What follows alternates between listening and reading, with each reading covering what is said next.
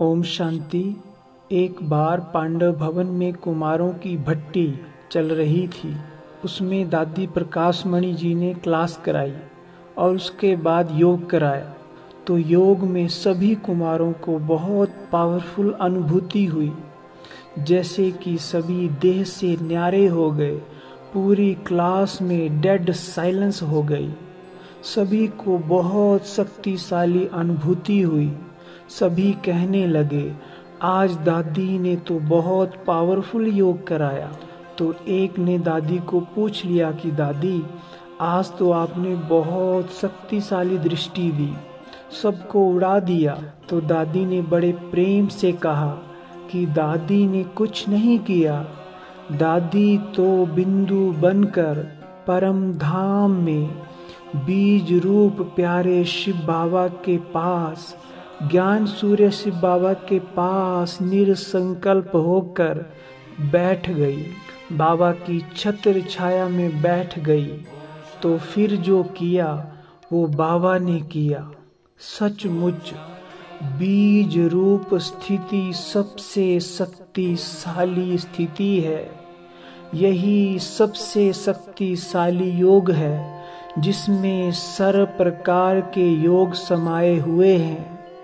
आप जब भी बीज रूप स्थिति में बिंदु बनकर बिंदु शिव बाबा के साथ परम धाम में कंबाइंड हो जाते हैं, उनके पास निरसंकल्प होकर बैठ जाते हैं तो जहाँ भी आप इस समय पर हैं, वहाँ के आसपास की आत्माओं की सेवा, समस्त प्रकृति की सेवा सबको सका स्वतः ही आपसे मिलता रहता है।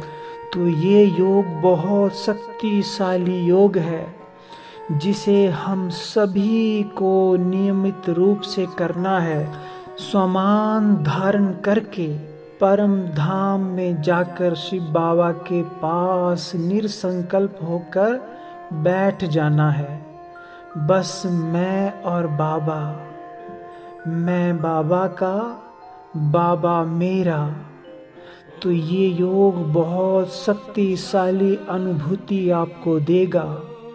आत्मा के विकर्म बहुत जल्दी जल्दी दग्ध होने लगेंगे, शक्तिशाली स्थिति बनने लगेगी।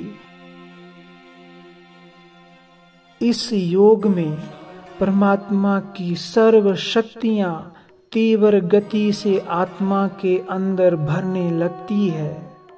तो हम सभी भी जब भी स्वयं को फ्री अनुभव अनुभव करें मैं आत्मा इस शरीर में विराजमान हूँ।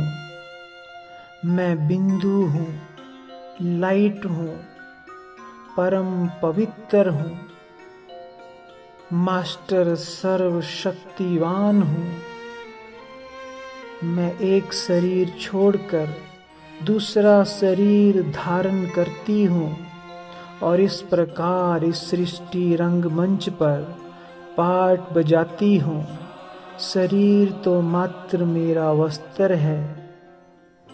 मैं आत्मा अब इस शरीर को छोड़कर जाती हूँ परम धाम।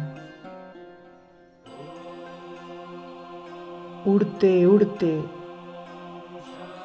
उस निराकारी दुनिया में, लाल सुनहरी गोल्डन प्रकाश की दुनिया में पहुँच जाती हूँ और शिव बाबा के पास, सर्वशक्तिवान शिव बाबा के पास बिंदु बनकर बैठ जाती हूँ।